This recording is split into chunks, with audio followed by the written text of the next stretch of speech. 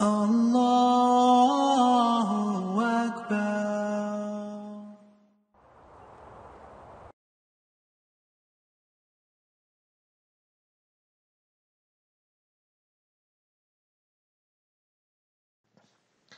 الحمد لله رب العالمين والصلاة والسلام وسيدنا محمد وعلى آله وصحبه أجمعين ومن استنى بسنته بإحسان إلى يوم الدين الحمد لله الذي هدانا لهذا وما كنا لنهتدي لولا أن هدانا الله Assalamu alaikum wa rahmatullahi wa barakatuh. We'd like to welcome you to another session from commentary in the 40 hadith of Al Imam al Nawawi's collection Al Arba'un.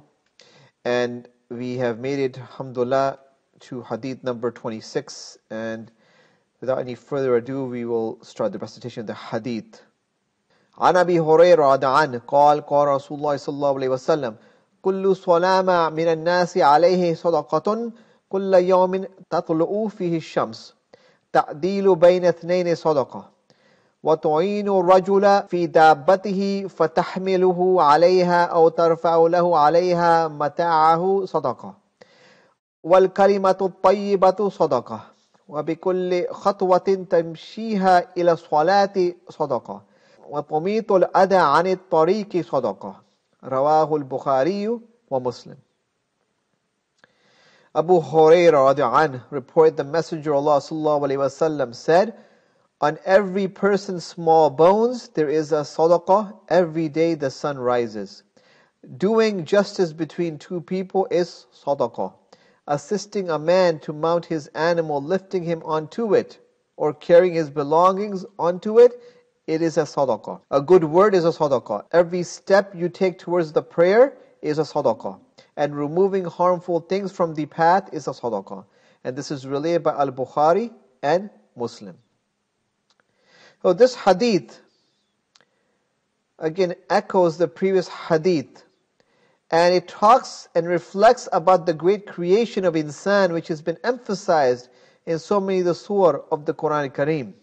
Ibn Rajab rahimullah said that the Prophet Muhammad mentioned sulama or the small bone or joint to emphasize the structure and creation of insan. This in and of itself is an indication of the great bounties and ni'mah of Allah Azza wa Jal. But this hadith obliges us to be thankful to Allah by doing charitable actions or sadaqah with each and every single one of these bones. The topic of this hadith is synonymous with that of hadith number 25. There are several reasons why Imam Nawawi has or is inferred to have included this hadith in this collection, despite it covering many similar topics. The most obvious reason is to emphasize the importance of sadaqah. Remember, if recall, when we looked at Hadith Jibreel, which talked about or incorporated within it the five pillars. And the next hadith, hadith number three, was Bunyal Islam ala khams, the five pillars. So, in that regard, the five pillars were echoed from the previous hadith to emphasize the importance of the five pillars. Thus, this also is hadith 26 emphasizes the importance of sadaqah in the life of a Muslim. Another reason also is that this hadith provides additional examples of sadaqah or charitable actions that we can do and we should do. A third reason perhaps also is the influence of Imam Muslim on Imam Nawawi. Okay. Please note that Imam Nawawi, he wrote the most comprehensive sharh or commentary on the collection of hadith found in Sahih Muslim. Okay. And Imam Muslim recorded many hadith on the topic of sadaqah. I mean, just like uh, Ibn Hajar Asqalani, he wrote Fathul Bari, the most comprehensive sharh on Sahih Bukhari. Imam An-Nawawi followed him in this regard and did the sharh on Sahih Muslim. Okay. So, as Muslims, from this hadith, we should try to do as many charitable actions as we can. And such sadaqah are not you know, observed in the same manner as the obligations of fara'id, such as, for example, the salawat and the zakah and the som. However, at the same time, we should feel an urgency to do them and not be lackadaisical or apathetic. That's very important. So these two hadith greatly propel us not to belittle or think of these small good actions that can be included in sadaqah. Okay, we should try as much as possible to do whatever good we can, big or small. Remember, Allah subhanahu wa ta'ala, He can reward us great amount for even doing a small deed. For example, when we looked at, uh, paraphrasing the hadith on this prostitute who fed a thirsty dog water. That was enough. That was enough. That sincerity and the amount of iman in that action that allowed this sinner to be forgiven. A lifetime worth of sins forgiven just for one action. So do not belittle a small action. Okay. Furthermore, we need these charitable actions to be the culture. Okay. And through this, its goodness, the goodness of these charitable actions will increase and the evils around will reduce. So going forward in this hadith, some more lessons in ta'bir. Rasul says, كل سلام من الناس عليه صدقة كل يوم تطلع فيه الشمس. And this is a very strong statement because the Prophet ﷺ is saying almost in command phase that every joint on a person, there is a sadaqah due on it. Every day the sun rises. Okay. And looking at the first word that we're going to focus on is salama, which means small bone, or it can also be a joint. In another hadith, the exact number of small bones were enumerated. The Prophet ﷺ says, فِبْنِ آدَمَ سِتُّونَ وَثَلَاثُمِئَةِ سُلَامَ أو عظم أو مفصل على كل واحد في كل يوم صدقة كل كلمة طيبة صدقة وعون الرجل أخاه صدقة والشرب من الماء تسقيها صدقة وإماتة الأذى عن الطريق صدقة In the children of Adam, there are 360 joints in each of them owes sadaqah every day. Every good word is a sadaqah. A man's helping his brother is a sadaqah. A drink of water which he gives is a sadaqah. Removing something harmful from the road is a sadaqah. And this is narrated by Ibn Abbas in Adab al-Mufrad and it's sahih as per Sheikh al-Albani. So, if you recall, Adab al-Mufrad is also a compilation by Imam Bukhari and it's a collection of adab or mannerisms, a beautiful collection as well, which you should look into at some point in the future, inshallah. So, it is the interaction and structure of these bones that allows us the agility and speed that we possess on our feet and our maneuvering of our hands and joints. Okay. These are the same bones we use every day and often take for granted. These bones are among the key factors towards also the progress of civilization of insan, which has enabled him and enable us to move, grasp, construct, and even build. And this ability to build and manufacture also due to these small bones, these salama, that Allah subhanahu wa ta'ala has created. So we should be thankful to Allah subhanahu wa ta'ala for these great ni'mah and should express that also by using these same joints in doing charitable actions. Another hadith narrated by Abu Dhar, wada'an, where the Prophet ﷺ says, In the morning sadaqah is due from every bone in the body of every one of you, and two raqah, which one prays in the forenoon will suffice. And this is narrated in Sahih Muslim's collection. These two hadith echo this hadith number 26 in making sadaqah on every bone incumbent upon all of us. Okay, we have to use these joints which Allah subhanahu wa ta'ala gave us for sadaqah. And again, it can encompass a wide range of activities and good deeds and even things which we may not even consider good deeds. Even, for example, planting a plant. We talked about the hadith last time, even having permissible relations with our spouses is a sadaqah. So many things are a sadaqah. Even a smile which takes a second to do comes from a clean heart. This is often difficult for those who have an ounce of pride, but for the one who has a clean heart, it is pleasant to do. It is a sadaqah as well. So, so many different things. And this hadith builds on the previous hadith, hadith number 25, as we have discussed. So going forward and looking at this topic of shukr to Allah subhanahu wa ta'ala, Okay, according to Ibn Rajab, doing the sadaqah acts mentioned in this hadith is an obligation upon each and every Muslim. And this is why also this hadith is so important as well, because it now makes these actions which we think are mubah obligatory now on a daily basis for us. So now there's an urgency for us to do it. As the introduction suggests, the implied reason or an implied reason for doing sadaqah is the blessing that Allah has bestowed on us so that we can use our joints and small bones to live well as we need to.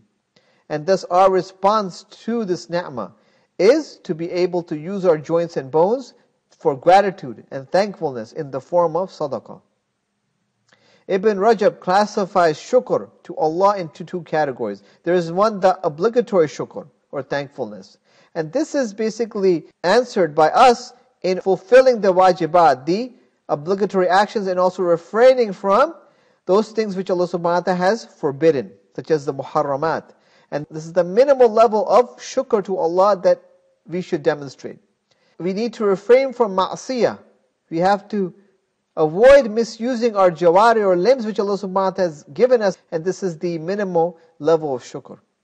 The mustahab or preferable shukr or thankfulness, deeds or actions which are beneficial to the community as mentioned in the this hadith and the prior hadith. And it's automatic the one who is engaged in dhikr is also the person who is apt to do these small acts of kindness for others as well. Because he is close or she is close to Allah subhanahu wa ta'ala and he knows that to do beneficial things for others will also elevate them and make them closer to Allah subhanahu wa ta'ala. So it works hand in hand. The dhikr, which is also sadaqah, in addition to the other sadaqah actions which benefit others. Going forward, the obligatory sadaqah. So it's important to look at these charitable actions from the perspective when they become obligatory. So in general, sadaqah, we think of this as mustahab or preferred. But sometimes it can become incumbent upon us. For example, if a blind man is crossing the road and you are the only one present, helping him becomes obligatory. And furthermore, this may result in the whole Muslim community becoming or being blameworthy when a single Muslim fails to act in such a circumstance. With such a niggardly and apathetic attitude is really dangerous, and we have to avoid that at all costs. Okay? We have to take the initiative. If you're the one around, and we don't see anyone else, or even if we do, we should be first in line and try to rush to help. Because that's what we do. That's what Muslims do. Because we are people of sadaqah. We are people of sadaqah. And when we stop becoming people of sadaqah, then everyone else also will look at us in the negative stance.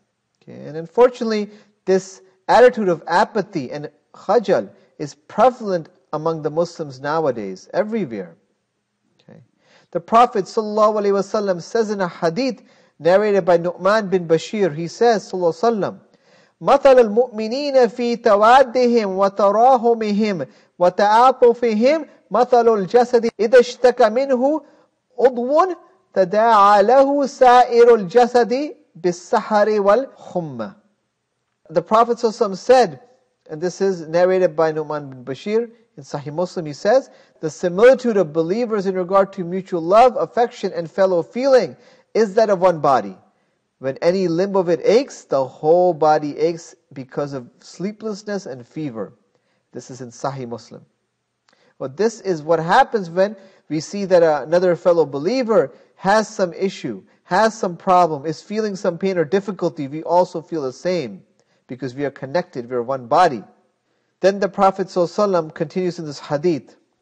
He says, تَعْدِيلُ بَيْنَ اثْنَيْنِ صَدَقَةً وتعين الرجل في دابتهم فتحمله عليها أو ترفع له عليها متاعه صدقة والكلمة الطيبة صدقة Doing justice between two people is sadaqah. Assisting a man to mount his animal, lifting onto it, or carrying his belongings is sadaqah. A good word is sadaqah. So again, the Prophet going further and giving more examples, more beautiful examples of what sadaqah represents or can represent. So this hadith emphasizes the importance of sadaqah in reconciling between two people and bringing about justice. Whether be spouses or family members or friends or any two from the Muslim community where there's harshness or there's some enmity, reconciling is a great deed and it just restores the Muslim bond between families and community. Also, furthermore, to get people who have deviated away from Islam or distorted back into the community is also part of Islah or reconciliation. It's also a very important sadaqah we must do because the majority of the Muslims are astray, like it or not. Okay, the majority of Muslims are not regular in their prayers. We have to get them back. We have to encourage them to come back to the masjid. We have to encourage them to come back to prayer. Join us for Ramadan. Help them. Overlook their minor deficiencies. Go look at the greater goal and not focus on the smaller issues they have, but the big issues. Okay? So it's very important that we encourage them in the best manners to get them back so that they can be part of the masjid once more or part of our community once more, those who have fallen astray and taken a detour from the sirat. Furthermore, this hadith mentions that helping a person with their needs or with difficulty is a sadaqah. So to just simply help someone carry a load to their car or into their home or help them with groceries up the steps, this simple act is a great sadaqah we need to do. Similarly, al kalimatu tayyibatu sadaqah. When we notice that someone is unhappy, we can also try to remove their sadness, their despair, their despair by saying a good word, encouraging them, you know, telling them that just have a little more patience and Allah subhanahu will give them such a great reward. And also try to be at their side for any type of help they may need, to be an emotional support. And just knowing that there's someone who is uh, in support of them, the morale is very huge because unfortunately depression is very common in today's age and time, everywhere, particularly in the States. Another way is likewise giving nasiha or sincere advice and guiding people from the sacred knowledge. We should try to be also an example to others also, so to follow in, so that people can also follow or emulate what we are following from the Sunnah and the Quran. So our words will be much more effective when we are the example of what we're preaching. Then the Prophet ﷺ says, continuing the hadith, وَبِكُلِّ خَطْوَةٍ تَمْشِيهَا إِلَى الصَّلَاةِ صَدَقَةً And so every step that is taken towards the masjid, towards the salah, is a sadaqah. Other actions which contribute to fulfilling an obligation can be extra rewards for the believer. Furthermore, the last charitable act mentioned in this hadith is وَطَمِيتُ الْأَذَى عَنِ الطَّرِيقِ صَدَقًا and even the act, the simple act of removing a harmful thing from the road or someone's pathway is a sadaqah. So what this hadith tells us also, this last part of the hadith, it tells us that Allah subhanahu wa ta'ala looks upon even this seemingly insignificant action as noble. And by doing such an action and such actions, we may prevent harm. For example, we could prevent someone from falling or tripping, so it also provides a great purpose in society, even though as insignificant as it may seem. And we should be that person. We should humiliate ourselves. Sometimes it's good to depress your ego. It is a good thing.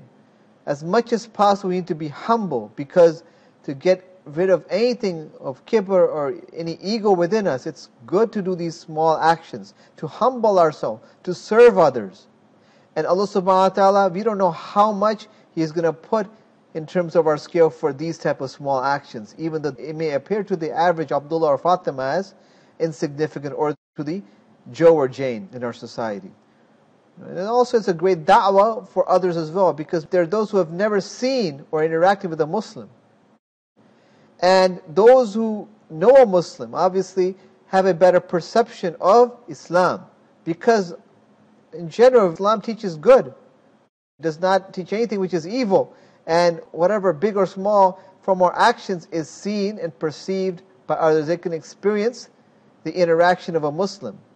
And, and they'll see, they'll recognize anyone who has sincerity, they'll know, they'll recognize that this person is not an evil person.